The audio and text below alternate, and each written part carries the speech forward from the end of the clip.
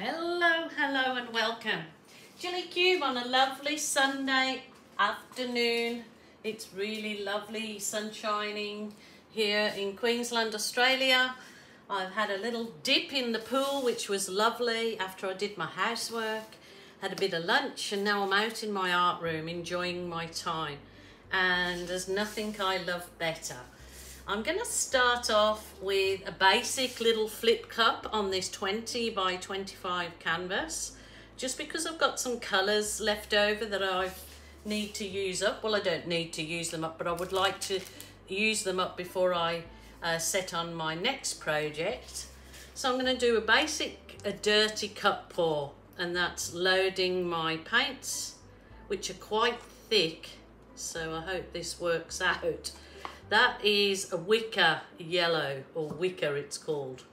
Um, I'm going to use some of my uh, beautiful dark sea, which is one of my favourites.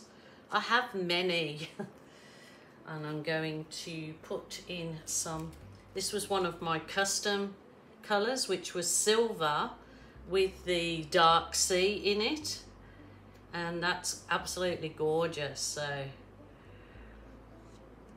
that's really uh, yeah metallic silver with the dark sea in it. And then there's the cool red. And then I'll go some white. And I will go to I've got a bit of um, purple here. So I might as well put all these lovely colours in it I'll go back now to the wicker. So just layering them in nice and just nice and relaxed. Enjoy your time. Back to the cool red. And my gorgeous custom colour, which I'm calling Mermaid, because it's such a beautiful shimmery, shimmery blue.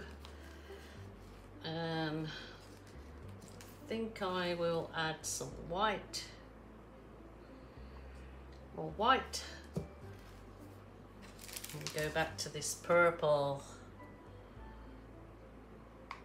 And I think that should just about do it for sure. So there you go, those lovely colours. I'm gonna, oh, excuse me, I'm gonna flip it just like that. Can allow all the colours to go down. Uh, Izzy Wizzy, let's get busy. Um, hopefully it's a lovely, lovely.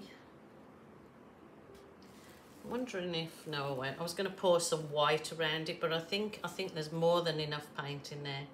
So I will just let it out, burp it out. Wow, lip it through with the lip of the cup Oh, look at those colours. Absolutely shimmering. Oh my goodness, look at this. Cells there.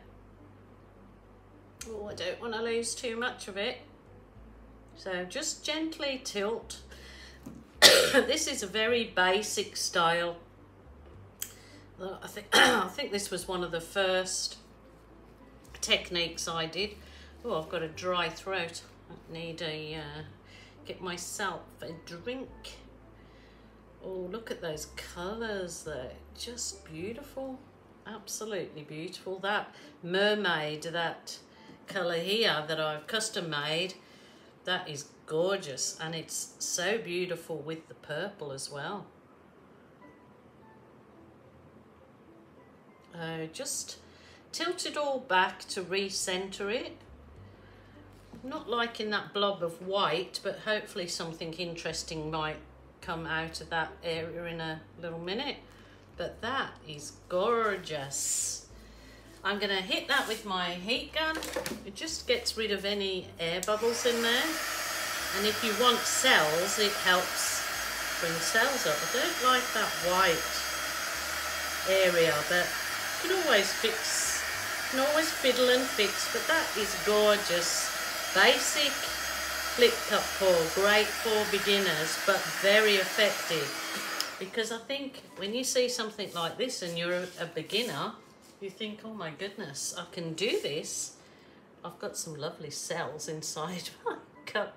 I'm thinking that maybe I should put this, a ribbon of these colours left through that white might do nicely.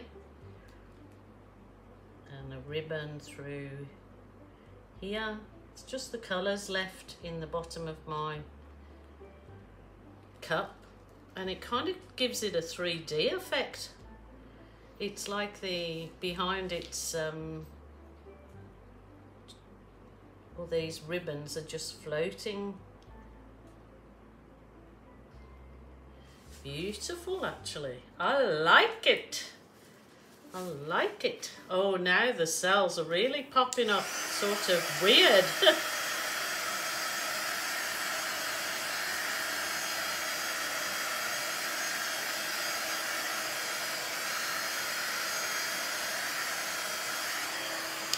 Beautiful. I will bring you down to have a closer look. That's very lovely. My goodness, some really strange creatures are starting to show up. There's like some caterpillars in there. There's eyes everywhere looking at me. There's like a spine. Little grubs. And look at that shape inside the cells. They're really gone a bit weird. It must be because I've had this paint sitting here a little while. Um, really looks in very interesting. It's like something that you would probably see underneath the microscope. and those ribbon pours that I've poured through, they uh, kind of make it look a bit interesting. But now these cells are all popping up. Well, that was a nice, easy one to do at home. Have it, do it with your girlfriend or your children, or just do it because you can. It's uh, a lovely, lovely pastime. So, my lovelies, thank you so much for joining me. If you haven't done so, please subscribe. Hit the subscription button. It's absolutely free, and um, it costs you nothing, and it helps me. So, until tomorrow, please join me for something new Bye for now.